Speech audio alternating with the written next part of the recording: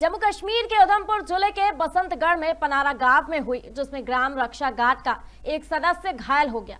बीडीजी के सदस्य जंगल में गश्त कर रहे थे, तभी उनके कुछ संदिग्ध लोगों से मुठभेड़ हो गई थी। पुलिस का कहना है कि ये संदिग्ध आतंकवादी हो सकते हैं, इसीलिए वीडीजी की मदद के लिए एक्स्ट्रा फोर्स पनारा गाँव भेजी गई है। दूसरी घटना मीरान साहिब इलाके में 27 अप्रैल की रात अनजान हमलावरों ने मिठाई की दुकान पर फायरिंग की। हालाँकि इस घटना में किसी के घायल होने की खबर नहीं आई है।